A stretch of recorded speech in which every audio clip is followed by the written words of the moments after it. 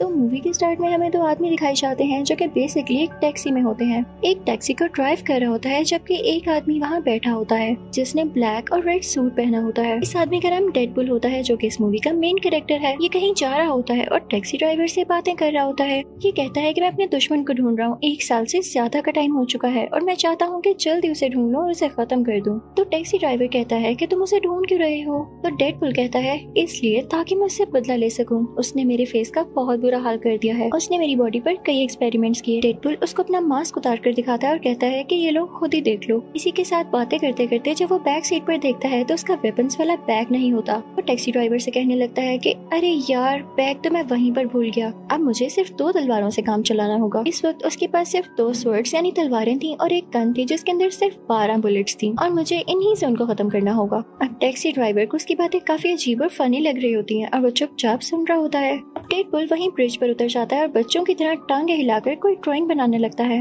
वो ऐसे ड्रो कर रहा होता है कि वो अपने दुश्मन को कैसे मारने वाला है, कि तभी उसको वहाँ पर अपने दुश्मन की गाड़ियाँ नज़र आती हैं। वो फ़ौरन से उतर जाता है और उसके घर में जितनी भी बुलेट्स होती हैं, उनसे उनके साथियों को मार डालता है। ये सीन काफ़ी मज़ेदार है। उनकी गाड़ियाँ रोल होते हुए गिरती हैं। यहाँ हम पर रिवील होता है कि डेडपुल के दुश्मन का नाम फ्रांसिस होता है। वो काफ़ी बड़ा विलन था, काफ़ी बुरा आदमी था। अब ये खबर मशहूर हो जाती है। हर जगह ये बात फैल जाती है कि डेडपुल और फ्रांसिस में लड़ाई हो रही है। ये न्यूज़ टीवी पर भी आती है। फिर हम घर में एक जॉइंट आदमी को देखते हैं जो की स्टील का बना हुआ लग रहा था। उस आदमी को ये न्यूज़ देख के काफ़ी गुस्सा आता है। वो एक टीनेजर लड़की को बुलाता है जिसके काफ़ी छोटे बाल थे और वो दोनों गुस्से में डेडपुल से मिलने जाते हैं। अब यहाँ हमें पास्ट की स्टोरी दिखाई जाती है जबकि डेडपुल एक नॉर्मल इंसान था। वो अभी डेडपुल नहीं बना था। उसका नाम वेड होता है। वो सीधा एक बार में जाता है, जहाँ पर उसका दोस्त भी होता है और वहाँ पर किसी जॉइंट आदमी की किसी दूसरे आदमी के साथ लड़ाई हो रही होती है। तो वेट ये देख कर एंजॉय कर रहा होता है। तभी वेट के पास एक लड़की आती है, जिसका नाम वेनेसा होता है। वो वेट से आकर बातें करने लगती है और उसको काफ़ी पसंद करने लगती है।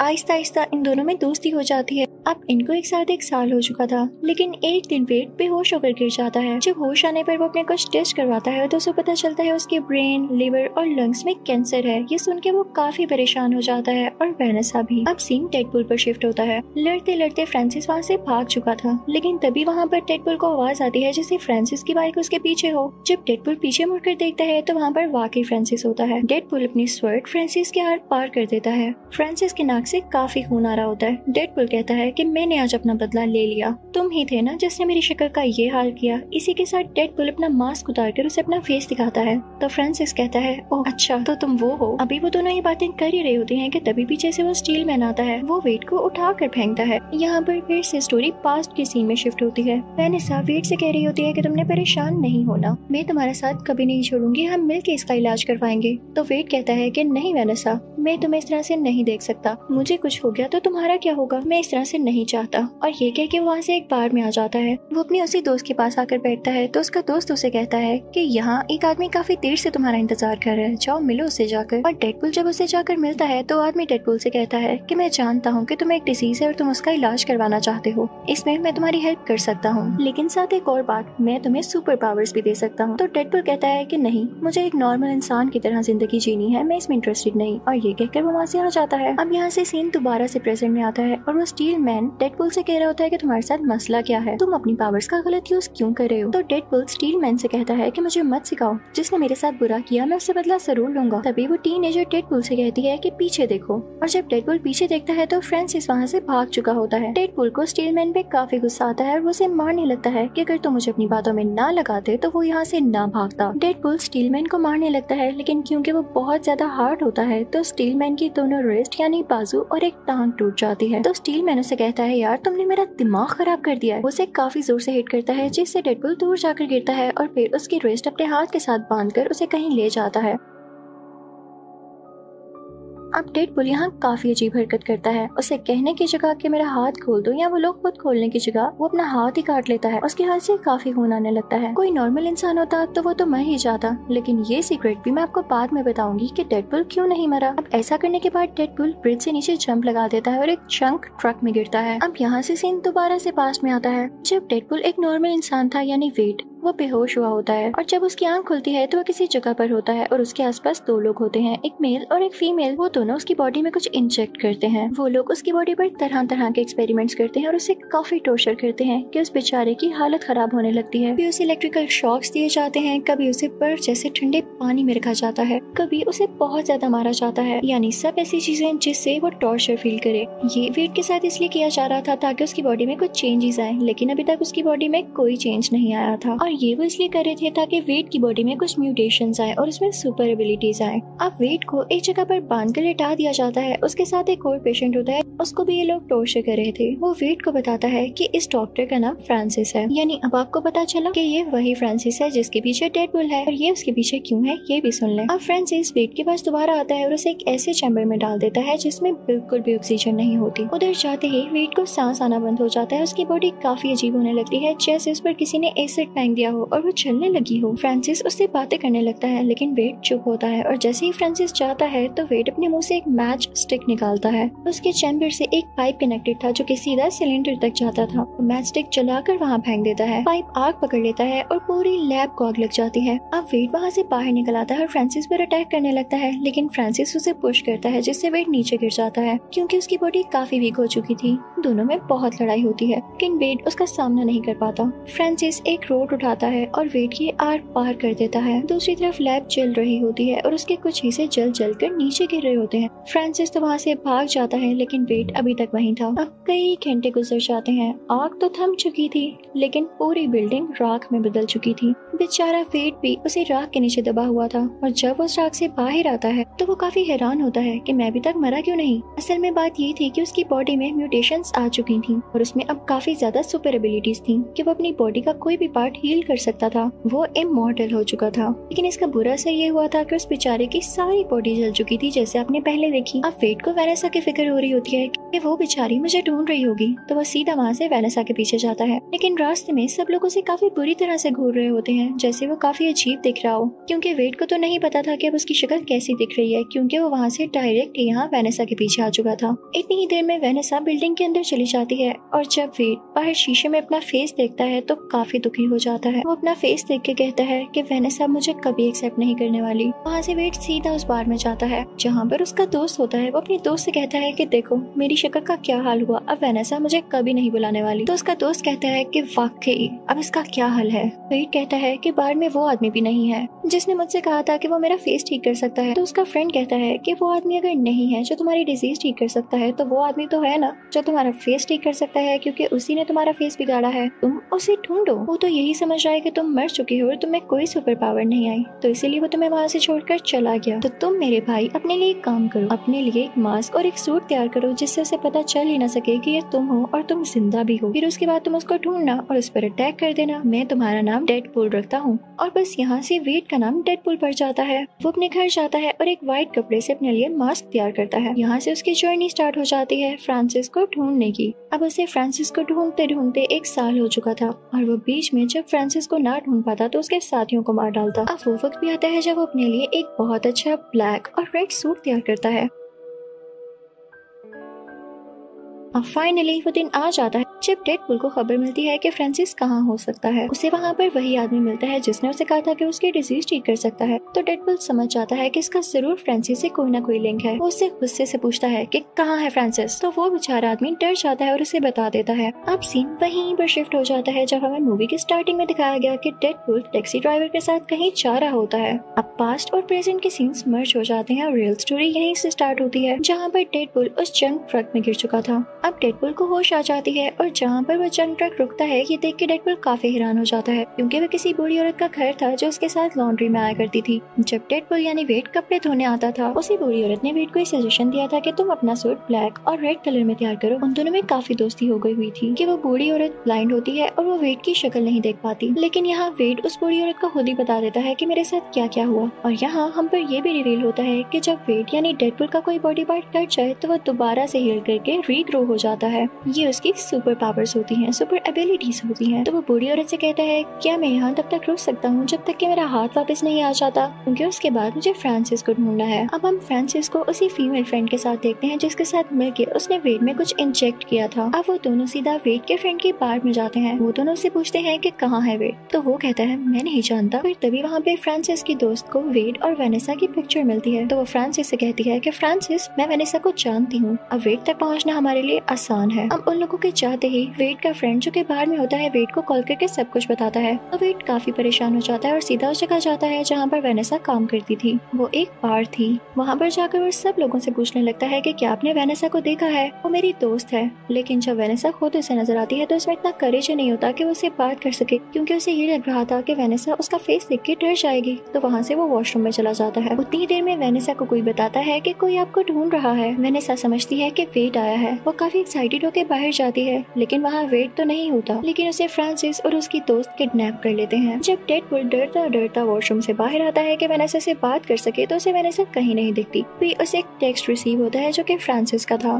फ्रांसिस का एक फेक नाम भी होता है जो कि एजेक्स होता है। इसी नाम से उसने टेक्स्ट भी किया होता है। कहता है कि अगर तुम चाहते हो कि वेनेसा तुम्हें वापस मिल जाए तो इस लोकेशन पर आ जाओ। फिर डेडपुल अपने घर जाता है और सारे वेपन्स ले लेता है। ये अपने साथ स्टील मैन और उस टीनेजर को भी ले लेता है और वही टैक्सी पकड़ता है, जिस पर ये पहले जा रहा था। अब ये लोग जंक यार्ड पहुँच जाते हैं, जहाँ पर इनको फ्रांसिस ने मिला था। लेकिन डेडपुल यहाँ पर फिर से अपना वेपन्स वाला बैग टैक्सी में भूल जाता है। डेडपुल कहता है कि, यार, मेरे पास तो अब स्वर्ड ही है। क्या मैं स्वर्ड से ही लड़ूँगा? तभी वहाँ पर फ्रांसिस के साथ ही आ जाते हैं और ऊपर कंटेनर पर फ्रांसिस और उसकी दोस्त खड़े होते हैं। फ्रांसिस अपने दोस्त को नीचे भेजता है, जो कि इन तीनों से फाइट करने लगती है। लेकिन टीनेजर भी काफ़ी तेज होती है, वो उससे फाइट करने लगती है। मैन बड़े बड़े टायर्स उठाकर फ्रांसिस के साथ ही ऊपर फेंकने लगता है। तीनों काफ़ी अच्छे से फाइट कर रहे होते हैं। लेकिन जब डेडपुल देखता है कि उसके साथी फ्रांसिस के साथियों को रोके हुए हैं तो इस बात का फ़ायदा उठाते हुए वो फ्रांसिस तक पहुँच जाता है। क्योंकि कंटेनर के ऊपर होता है। यहाँ पर फ्रांसिस और डेडपुल की काफ़ी लड़ाई होती है। नीचे फ्रांसिस की दोस्त ने स्टीलमैन का गला काफ़ी ज़ोर से दबा कर रखा होता है।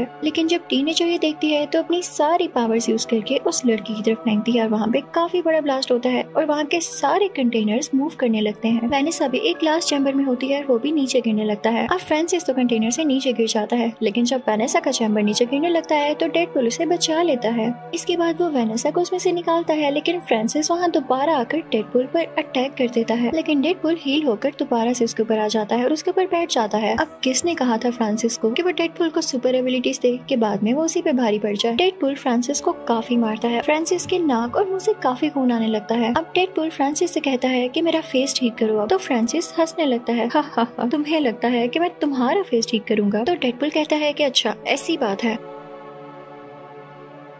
इसी के साथ वो अपनी एक छोटी सी गन निकालता है और उस पर शूट करने वाला होता है कि तभी पीछे से स्टील मैन की आवाज़ आती है। वो उसे कहता है डेडपुल तुम अपनी पावर्स का गलत यूज़ करोगे। तुम एक हीरो हो, तुम ऐसा नहीं कर सकते। लेकिन डेडपुल उसकी बात नहीं सुनता। वो फ्रांसिस के फेस पर शूट कर देता है। स्टील मैन बाहर से जितना ह्यूज और पावरफुल दिखता था, अंदर से वो बेचारा उतना ही डर भोगता। उसे ये सीन देख के वॉमिटिंग होने लगती है। अब इस सब के बाद वेनेसा डेडपुल के पास आती है और उसे पंचेस मारने लगती है। तो डेडपुल उसे कहता है की, ठीक है, मार लो। मैं जानता हूँ तुम राइट पर हो और तुम्हारा मुझे पंचेस मारना बनता भी है, लेकिन मैं तुम्हें एक चीज़ दिखाऊँगा, उसके बाद तो मुझे एक्सेप्ट ही नहीं करोगी। तो वेनेसा कहती है कि ऐसी भी क्या बात है? डेडपुल उसे कहता है कि मेरा फेस मास्क उतार के देखो, तुम्हें खुद ही पता चल जाएगा। तो वेनेसा उसका मास्क उतारती है, उसके नीचे एक और प्रिंट होता है। जब वेनेसा उसे हटाती है तो वहाँ पर डेडपुल का रियल फेस होता है, जो की काफ़ी जला हुआ था। वेनेसा उसका फेस देख के कहती है की क्या बुरा है इसमें। तुम्हारी आँखें, नाक, मुँह सब कुछ तो ठीक है। स्किन का इशू है तो वो सबको होता है। हर किसी की स्किन वैसे भी फ्लोलेस नहीं होती। मुझे जल्द ही इसकी आदत हो जाएगी, लेकिन मैं तुम्हें छोड़ कर नहीं जाने वाली। दोनों बहुत खुश होते हैं। दोबारा से सुलह कर लेते हैं। तो यही डेडपुल पार्ट वन खत्म होता है। Now we are starting part two तो पार्ट टू के स्टार्ट में हम डेडपुल को देखते हैं, जो की काफ़ी सैड अपने अपार्टमेंट में बैठा होता है। वो अपने अपार्टमेंट को आग लगा देता है, क्यूँकी वो ज़िंदा नहीं रहना चाहता था। और सुसाइड कर रहा था। अब हमें पास्ट का सीन दिखाया जाता है कि डेडपुल सुसाइड क्यूँ करना चाह रहा था। हमें एक फाइटिंग सीन दिखाया जाता है, जिसमें जिसमें डेडपुल अपने कुछ दुश्मनों से लड़ रहा होता है, जो कि काफ़ी बुरे लोग होते हैं। लेकिन उनमें से एक आदमी वहाँ से भाग जाता है। तो डेडपुल कहता है कि इसको तो मैं बाद में देख लूँगा। पहले मुझे वेनेसा से मिलना है, क्योंकि इन दोनों को एक साथ रहते हुए पूरे दो साल हो चुके थे और इसने उसको विश करना था। लेकिन जब डेडपुल घर जाता है तो वहाँ पर वही आदमी आ जाता है जो की वहाँ से भाग गया था। वो यहाँ वेनेसा को मार डालता है। जब डेडपुल ये देखता है तो उसे काफ़ी दुख होता है। उस आदमी के पास जाता है और उसे ट्रक के नीचे देखकर मार देता है। फिर वो वापस वेनेसा के पास आता है। वो काफ़ी उदास होकर कहता है कि मेरी वजह से ही तुम मरी। मैं तुम्हारी मौत का बदला ज़रूर लूँगा। नो डाउट वो आखिरी आदमी को भी मार चुका था, लेकिन उन सब लोगों खत्म करना चाहता था, जो उसके लिए बुरे थे, जो किसी की बिला वजह जान लेते हैं, बिना किसी रीजन के। उसे वेनेसा की बहुत याद आया करती थी और वो कई तरह से अपनी जान लेने की कोशिश करता था। कभी वो बिल्डिंग से नीचे जंप लगा देता, कभी उसके अंदर रोड्स घुस जाती।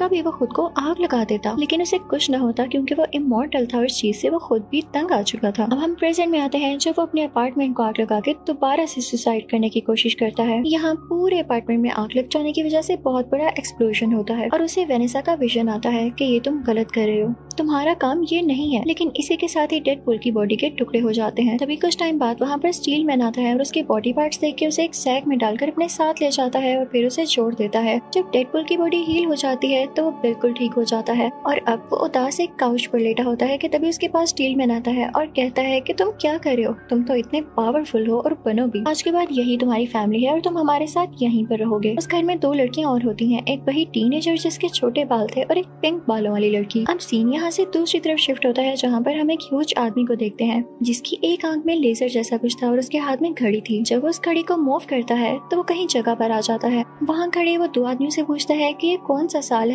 मैं किस ईयर में हूँ? लेकिन इससे पहले कि वो आदमी कोई जवाब देते वो उनको मार कर उनकी गाड़ी लेकर वहाँ से चला जाता है। अब सीन दोबारा से वहाँ शिफ्ट होता है, जहाँ पर वो चारों रह रहे थे। यानी टेड पुल स्टील मैन पिंक बालों वाली लड़की और वो टीनेजर ये सब अपनी टीम को एक्स मैन की टीम कह रहे होते हैं। अब टीनेजर स्टील मैन से कह रही होती है की आपको बहुत ट्रस्ट है ना डेडपुल पर? मुझे तो डेडपुल बिल्कुल भी कॉन्सिस्टेंट नहीं लगता है। ये कुछ भी ठीक से डिसाइड नहीं कर पाता। कभी सुसाइड करने की ट्राई करता है और कभी कुछ ज़्यादा इमोशनल हो जाता है। तो डेडपुल फ़ौरन से बोल पड़ता है कि तुम लोग परेशान नहीं हो। मैं खुद को ठीक करूँगा। मैं जितने दिन इस घर में रहा, मैंने बहुत कुछ सीखा और हम बहुत अच्छी एक्समैन टीम बनेंगे।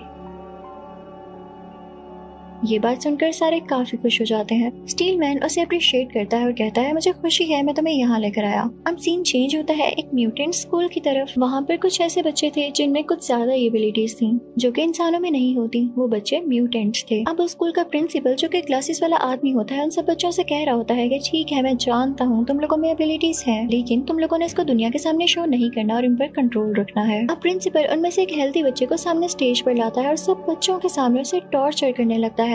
बच्चों से कहता है कि अगर अपनी एबिलिटीज को कंट्रोल ना किया तो आप लोगों के साथ भी यही किया जाएगा, ताकि आप ये सीख लें कि कंट्रोल कैसे किया जाता है। पता नहीं कैसा स्कूल था ये। तभी हम उस घर को देखते हैं, जहाँ पर वो चारों, यानी एक्समैन टीम रह रही थी। तभी स्टील मैन डेडपुल के पास आता है और उसे कहता है की एक मसला हो गया है और हमें उस जगह पर जाना है। अब जहाँ मसला हुआ था, वो उसी म्यूटेंट स्कूल के बाहर वाला हिस्सा था, जहाँ पर वो हेल्थी बच्चा टॉर्चर किए जाने की वजह से काफ़ी तंग आ चुका था और बाहर आकर दो पुलिस कार्स को डैमेज कर चुका था। उसकी एबिलिटी थी कि वो हाथों से आग फेंक सकता था। अब जनाब वहाँ पर ये एक्समेन टीम भी पहुँच जाती है और उस बच्चे को आराम से रोकने की कोशिश करती है। लेकिन वो बच्चा टेड पुल पर और उन लोगों पर अटैक कर देता है, जिसके बाद पुलिस इसके गले में एक डिवाइस डाल देती है। इसी टाइम वेट यानी डेड पुल नोट करता है की उसकी गर्दन पर कोई निशान है, यानी ये बच्चा ऐसे ही अग्रेसिव नहीं हुआ, इसके साथ ज़रूर कोई जुल्म हुआ है। तो डेड पुल भी स्कूल के बाकी स्टाफ पर अटैक कर देता है, जिसकी वजह से पुलिस उसके गले में भी वो डिवाइस डाल देती है। इनफैक्ट ये ऐसी डिवाइस थी जो किसी की भी सुपर एबिलिटीज को कंट्रोल में कर सकती थी। जिसके गले में भी ये डिवाइस होती, वो अपनी एबिलिटीज को ठीक से यूज़ ही न कर पाता और सबसे बड़ी बात, ये डिवाइस खुद से उतर भी नहीं सकती थी। यहाँ पे उस हेल्थी बच्चे को और डेडपुल को एक साथ उधर म्यूटेंट सेल में लेकर जाया जाता है। जहाँ पर और भी लोगों को पकड़ कर लेकर आया गया था और उन्हें सूट भी पहनाया जाता है, जैसे क्रिमिनल्स का हो। अचानक से वेट यानी डेडपुल को दर्द होने लगती है, क्योंकि जब तक उसकी एबिलिटीज उसके पास थी, उसे अपनी कैंसर की डिज़ीज़ फील ही ना हुई। लेकिन क्योंकि अब उसके गले में डिवाइस थी और उसकी एबिलिटीज उसके पास नहीं थी तो उसे काफ़ी दर्द हो रहा था, क्योंकि उसका कैंसर वापस आ रहा था। तो वह हेल्थी बच्चा बोलता है की हमारी गलती है की हम अपने लिए स्टेप नहीं लेते। अच्छा खासा मैंने स्टेप लिया,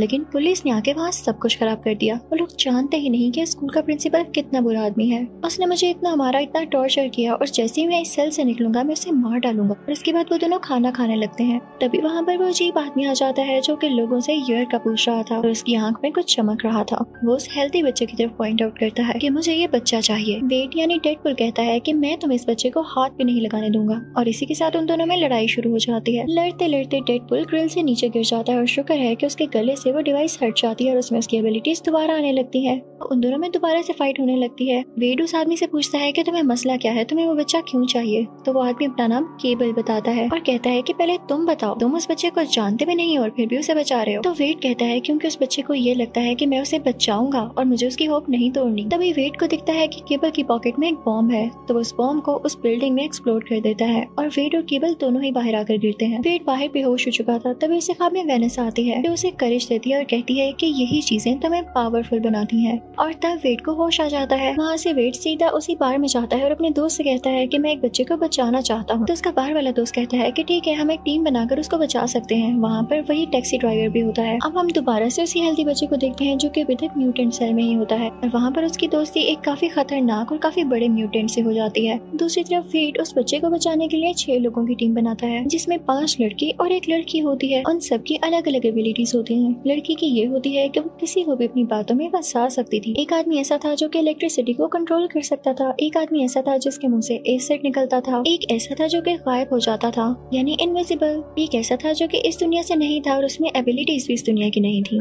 और एक मूछो वाला आदमी जिसके पास कोई एबिलिटी नहीं थी तो उसे सिर्फ़ फॉर्मेलिटी के लिए रख लिया गया था। दूसरी तरफ़ हम केबल को देखते हैं। वो वेट के बार वाले दोस्त को किडनैप कर लेता है और उससे पूछता है कि मुझे बताओ कि वो म्यूटेंट बच्चा कहाँ पर है? साथ ही साथ वेट चाहता क्या है? तो वेट का वो बार वाला दोस्त काफ़ी डर जाता है और उसे सब कुछ बता देता है और ये भी कि वेट के क्या प्लान है। अब वेट को खबर होती है की उस म्यूटेंट बच्चे को किसी दूसरे सेल में शिफ्ट कर रहे हैं तो इसके पास अच्छा मौका था उस बच्चे को बचाने के लिए। तो अपनी सारी टीम को पैराशूट पर लेकर उठता है और उन पुलिस कार्स का पीछा करने लगता है, जिसके अंदर वो म्यूटेंट बच्चा था। उस टीम में से सिर्फ़ एक ही लड़की होती है, वही कर्ली बालों वाली लड़की, जो कि पुलिस की कार में बैठ जाती है। अब बाकी लोग भी उस कार के अंदर जाना चाहते थे, लेकिन उनसे पहले ही केबल अंदर चला जाता है और उस कर्ली बालों वाली लड़की से लड़ाई करने लगता है। लेकिन तभी वहाँ पर डेडपुल भी आता है, जो की अपनी साथी को बचा लेता है। इतनी देर में उस म्यूटेंट बच्चे ने अपना ग्लास चैम्बर खोल लिया होता है, और साथ ही साथ वो उस म्यूटेंट को भी बचा लेता है, जो की काफ़ी जॉइंट था उससे दोस्ती कर ली थी उसने। वो म्यूटेंट बच्चा जैसे ही डेडपुल को देखता है तो कहता है की जब मुझे बचाने का टाइम आया तो तुम वहाँ से भाग गए, और अब आ गए हो। अब ये मेरा अच्छा दोस्त बन चुका है। जॉइंट म्यूटेंट की तरफ़ इशारा करता है, और इसके बाद वो जॉइंट म्यूटेंट डेडपुल की बॉडी के दो हिस्से कर देता है, और फिर वो बच्चा उस जॉइंट म्यूटेंट को अपने साथ लेके चला जाता है। उसके बाद कर्ली बालों वाली लड़की आती है और वेट यानी डेड के दोनों हिस्सों को अपने साथ लेकर चली जाती है। अब वेट को घर ले जाया जाता है।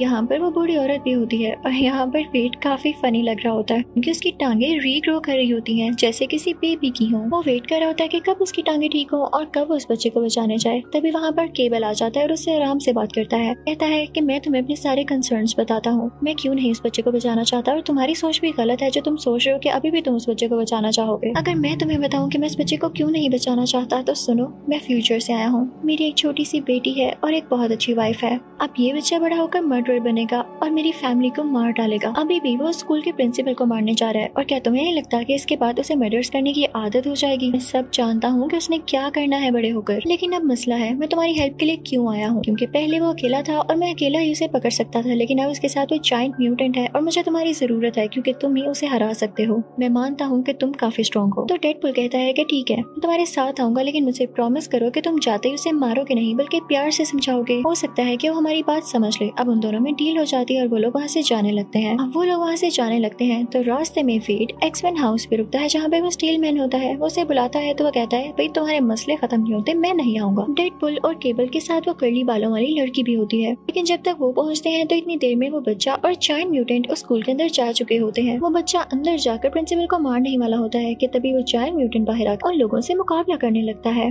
लेकिन वेट केबल और वो कर्ली बालों वाली लड़की मिलकर भी उस चाइल्ड म्यूटेंट का कुछ नहीं बिगाड़ पा रहे थे। अभी वहाँ पर स्टील मैन आ जाता है। यानी था वो भी दिल का अच्छा करना चाहता था वो मदद। लेकिन उसमें सेल्फ रिस्पेक्ट थोड़ी ज़्यादा थी, जो कि अच्छी बात भी है। वो आकर उस चाइल्ड म्यूटेंट से लड़ने लगता है और कर्ली बालों वाली बच्ची स्कूल के अंदर चल जाती है ताकि उस बच्चे को रोक सके। वो अंदर जाकर पहले तो सारे बच्चों को वहाँ से बाहर निकालती है। अब केबल और डेड पुल उस बच्चे के पास आते हैं। बाहर स्टील मैन के पास वो टीन भी आ जाती है और वो दोनों मिल के उस चाइल्ड म्यूटेंट को मार डालते हैं। अब वो बच्चा प्रिंसिपल को अंदर मारने ही वाला था। तो ये देखते हुए केबल उस बच्चे को मारने लगता है, लेकिन डेड पुल उसे रोकता है की तुमने कहा था की हम इसे इसे समझने का एक मौका ज़रूर देंगे, इसे एक चांस देंगे। अब डेडपुल उस हेल्दी बच्चे को समझाने लगता है कि देखो, अगर तुम प्रिंसिपल को इसलिए मारे हो कि वो तुम लोगों को टॉर्चर करता है तो तुम भी उसे मारने के बाद एक मर्डर बन जाओगे और कोई तुम्हें अच्छा नहीं समझेगा तो उसमें और तुम में फ़र्क क्या रह जाएगा? इसी के साथ वो उस बच्चे की तरफ़ बढ़ता है और उसे कहता है की मैं तुम्हें हमेशा से बचाना चाहता था, इसीलिए तो यहाँ पर आया हूँ, लेकिन उस बच्चे को डेडपुल की बातों पर यकीन नहीं आता। अपने हाथों से आग निकालता है और उसे ज़ोर से पुश करता है, जिससे वो दूर जाकर गिरता है। अब डेडपुल जब गिरता है तो उसे काफ़ी दुख होता है, वो अपने गले में वही डिवाइस पहन लेता है। हेल्दी बच्चे से कहता है कि ठीक है अगर तुम्हें शक है कि मैं तुम्हें कोई नुकसान पहुंचाऊँगा तो ठीक है मैंने डिवाइस पहन ली मेरी सारी एबिलिटीज खत्म हो गई अब मैं मर सकता हूँ तो तुम मुझे मार लो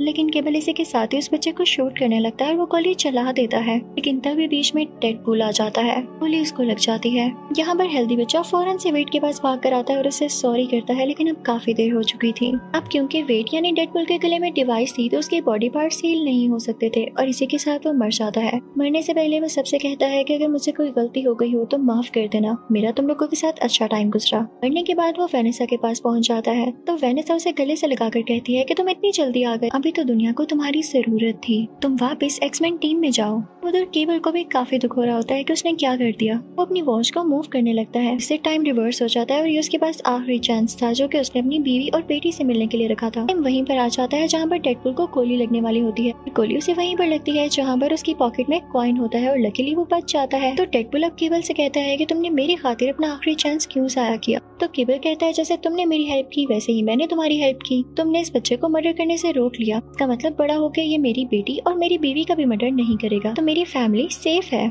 मैं यहाँ कुछ देर इंतज़ार करूँगा और अपनी फैमिली के पास वापस चला जाऊँगा। वो सारे लोग वहाँ से जाने लगते हैं। तभी पीछे से स्कूल का प्रिंसिपल आता है और उन्हें बुरा भला कहने लगता है। उनको ब्लैकमेल करता है कि मैं तुम्हें मार दूँगा। तभी टैक्सी ड्राइवर वहाँ पे आता है और कहता है कि तुम मारोगे हमें। इसी के साथ अपनी टैक्सी उसके ऊपर चला देता है। कहता है कि, ये लो, मैंने तुम्हें मार दिया। अब मूवी की लास्ट सीन में हम देखते हैं कि केबल की वॉच को टीनेजर और वो पिंक बालों वाली लड़की ठीक कर देते हैं और फिर बाद में उसको वेट भी यूज़ करता है वेनेसा से मिलने के लिए। इसी के साथ ये मूवी यही एंड हो जाती है। Thank you for watching